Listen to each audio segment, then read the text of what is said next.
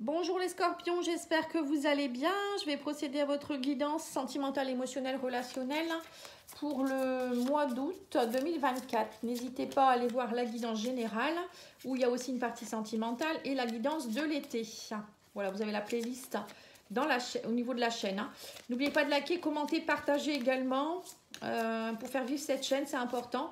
Je remercie toutes les personnes qui, euh, qui sont fidèles et qui continuent à me regarder. Parce qu'en ce moment, il y a un petit peu une baisse, hein, euh, je ne sais pas.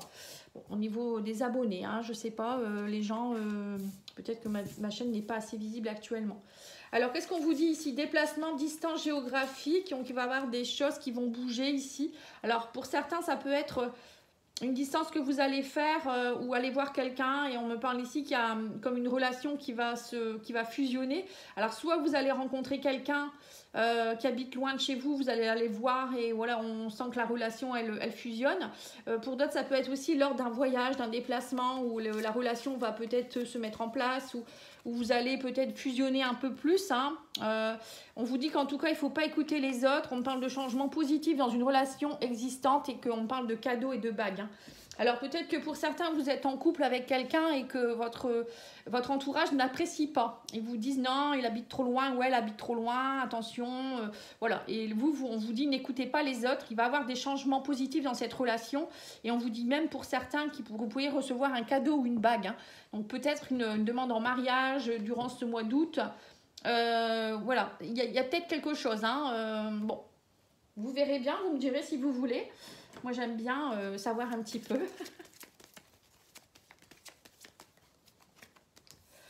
Alors, qu'est-ce qu'on vous dit d'autre ici? Alors, pour certains, c'est peut-être aussi un déplacement que vous allez faire pour rencontrer quelqu'un euh, que vous ne connaissez pas hein, aussi. Hein. Alors, qu'est-ce qu'on vous dit? Quelqu'un a un message pour vous suite à une séparation? Euh, on vous dit ici, tout est possible. Ouais, donc il y a peut-être eu aussi des couples qui se sont séparés et, il, y a, euh, y a de nouveau peut-être un retour ici. Hein. On vous dit c'est une question de temps, il y a une peine de cœur. Oui, c'est ça. Donc pour certains, vous avez peut-être vécu une séparation et votre autre revient avec une bague.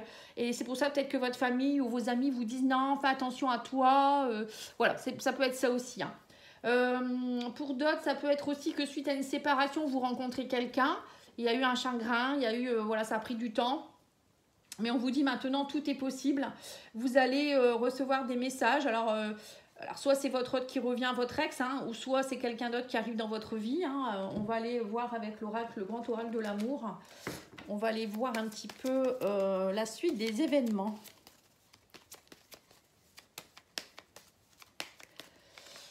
Alors, on a quoi? On a l'engagement, on a la fidélité, on a le voyage encore hein, avec l'avion ici, un départ. Vous voyez, donc c'est bien ça. Hein. Pour certains, euh, j'ai l'impression qu'il y a quand même un engagement qui se profile là. Vous allez certainement aller voir quelqu'un. Alors, soit c'est vous qui déménagez, peut-être c'est vous qui allez déménager aussi. Hein. Vous allez rejoindre votre autre ou c'est votre autre qui arrive vers vous. On me dit que ça, vous êtes un peu perdu. Euh, on parle de communication ici. Il va falloir communiquer beaucoup parce que peut-être que ça vous fait peur. Euh, on vous dit qu'en tout cas, vous allez vers un engagement vers le bonheur, la fidélité. Il y a un regain d'énergie. On parle de sensualité, de bonté, d'ouverture de cœur. Euh, on vous parle de durée. Vous voyez, ça, prend, ça, fait, ça fait longtemps que vous attendez ça peut-être aussi. Euh, pour certains, c'est peut-être aussi une relation où vous étiez en, à distance. Hein. c'est peut-être une relation, euh, la personne, vous lui parliez peut-être en virtuel. Et que là, vous allez enfin vous voir, vous rencontrer ou vous revoir. Et que du coup, vous, ça vous fait un peu peur parce que vous étiez plutôt dans la communication. C'était peut-être plutôt léger, votre relation.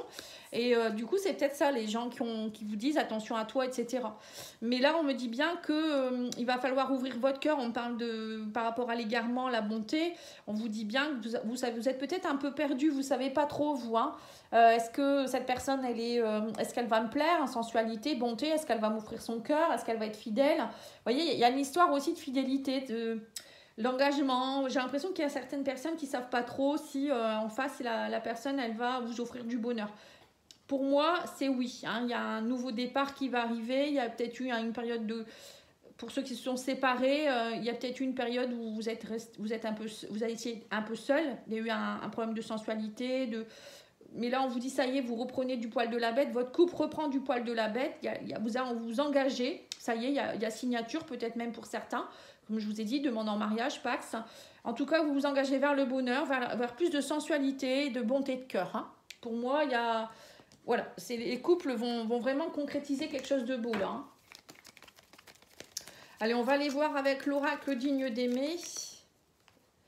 La passion, donc on vous dit bien que cette relation, elle est très passionnante. Hein. On parle de, sentiments fougueux, hein. c'est pas rien. Hein.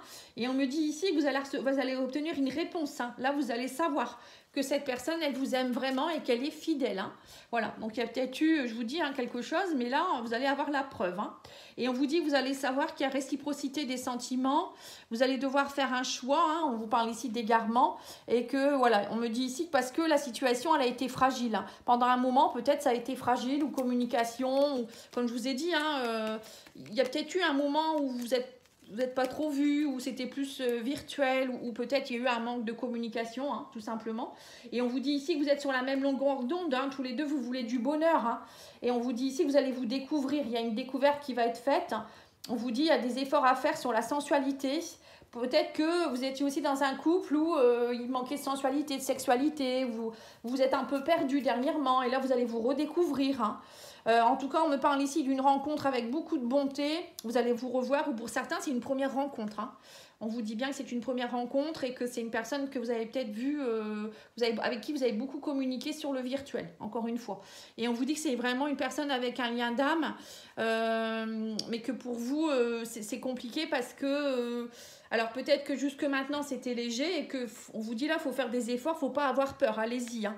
Euh, et pour certains c'est peut-être aussi euh, pour les couples euh, votre relation était peut-être devenue plus du flirt parce que vous faisiez plus grand chose ensemble et là on vous dit allez-y.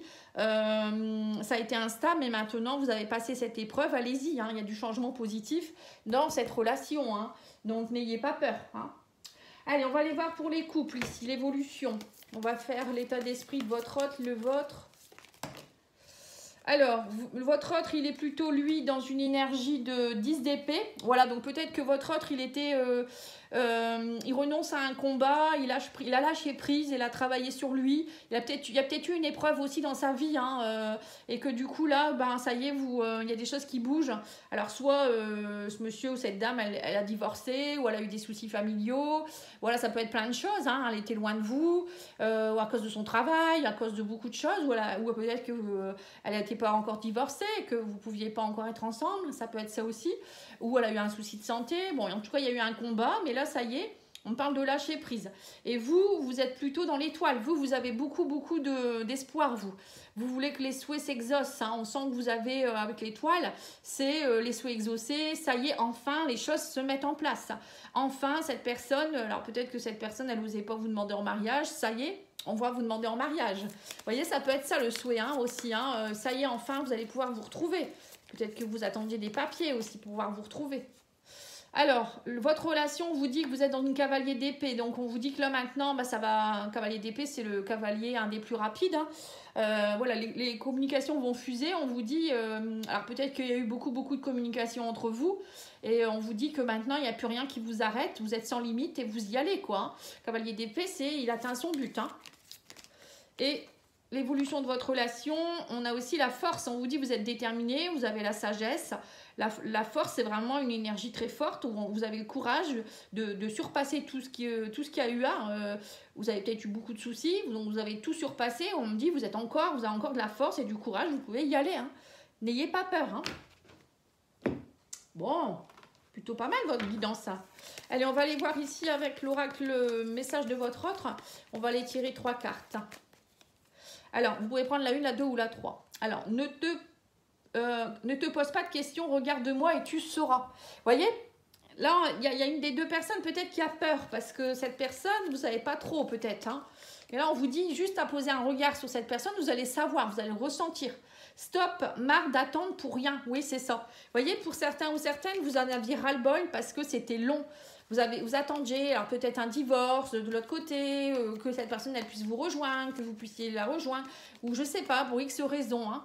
Euh, et la troisième, c'est fais-moi confiance avec et ne me laisse pas. Vous voyez, donc il y a bien, il y a eu un, un temps euh, compliqué, j'ai l'impression. Mais ça y est, maintenant ça va se mettre en place.